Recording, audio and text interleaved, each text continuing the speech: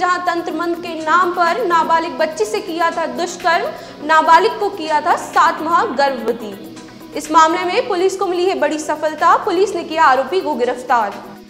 पिछले दिन शाहबाद थाना क्षेत्र में नाबालिग के से तंत्रमंत्र के नाम पर शोषण कर सात माह से गर्भवती करने वाले मामले में पुलिस ने सोमवार को आरोपी को गिरफ़्तार कर लिया, जिसे मंगलवार को बारह न्यायालय में पेश किया जाएगा। तंत्रमंत्र के नाम पर गुमराह कर आरोपी नाबालिग से करता था शारीरिक शोषण। आरोपी देवा उर्फ़ शनिदेव को किया गिरफ़्तार। जानकारी के अनुसार आपको बता दें कि राजपुर के जंगलों से आरोपी को पकड़ा गया।